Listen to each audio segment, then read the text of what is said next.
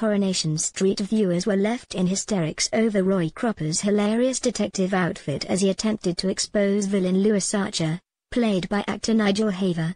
The Roy's Rolls owner finally outed Rosemary the psychic for the fake that she was during Wednesday night's episode, preventing Gail Platt from paying her a huge wage.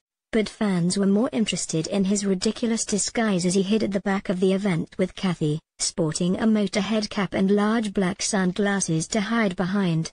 And they flocked to social media to express their disbelief at his ensemble, laughing that he was still just as recognizable as he stood in the crowd. Roy's hilarious, Incognito in that Motorhead hat hashtag Corrie, one sarcastically wrote. While Anther added, Wow, great disguise, Roy, gotta say, I'm impressed. A third chipped in, Roy's disguise he shouldn't have bothered hashtag Corrie. As a fourth joked, Roy Cropper, the master of disguise.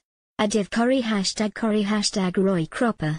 The lovable Weatherfield resident may have looked silly, but he was successful in his mission to bring Lewis down as he worked alongside Rosemary to con residents. Slipping out of the event, Roy managed to find proof of the con as he spotted Lewis feeding Rosemary the answers from his car, while she listened through a headpiece. Fans were so impressed with Roy's efforts that they urged ITV bosses to give him his own TV spin-off show. Adiv Corrie hashtag Corrie, one wrote.